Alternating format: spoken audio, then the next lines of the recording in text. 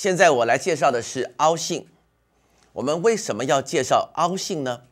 是因为假设一个增函数或者是减函数，增函数其实它有两种状况，一种是增长的比较快的，另外一种是增长的比较慢的。像这种两种的话呢，都是增函数，可是形状却完全不一样。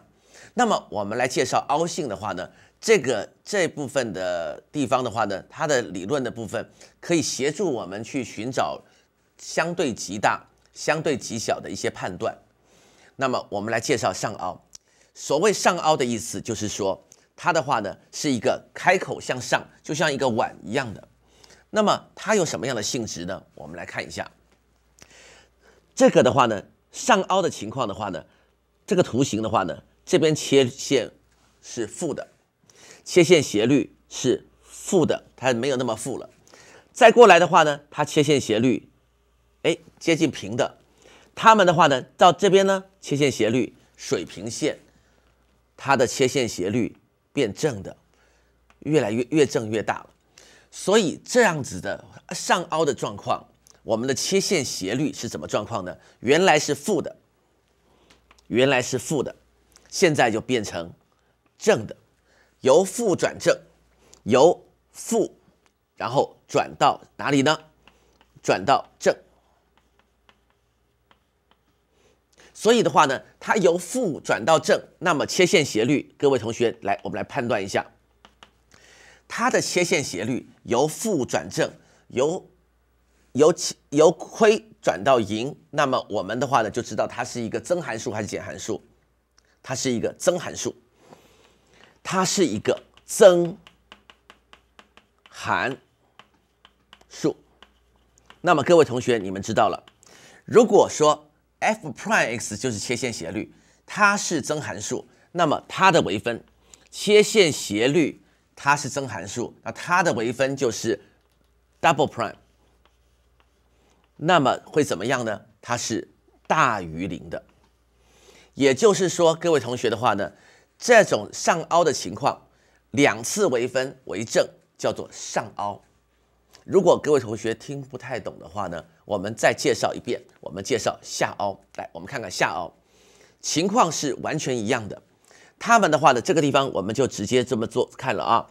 这边切线斜率正，没有正那么多，水平线负，负的更大，由正。到零到负，它是由正转到负。那么各位同学，你们应该知道，由正转负，原来有的变成没有的，那么它是一个减函数，它是一个减函数。好，减函数，切线斜率是减函数，切线斜率是 f prime x。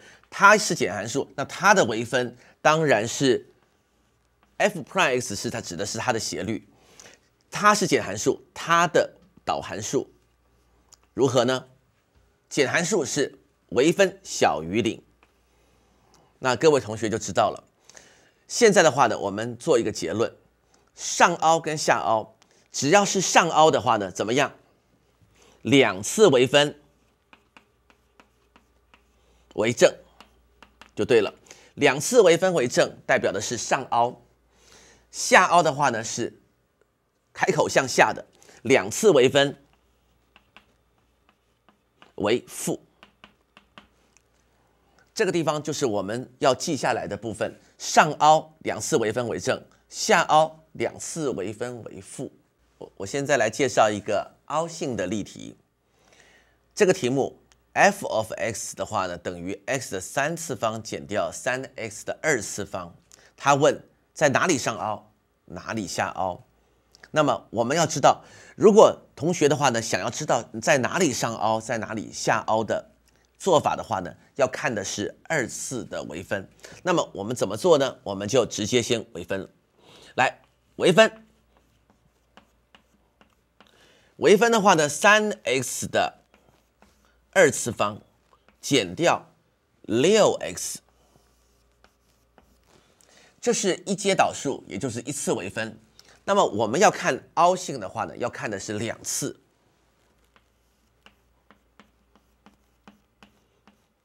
我们发现的话呢，微分再微分一次会变成了六 x 减六。我们六提出来，各位同学看这边是减一。好，现在这个地方的话呢，x 等于一是什么呢？各位同学的话呢，你们特别要记得，x 等于一，我们有一个专用的名词叫做让微分变零的，我们称为临界值；让微分两次会变零的，我们称为二阶临界值。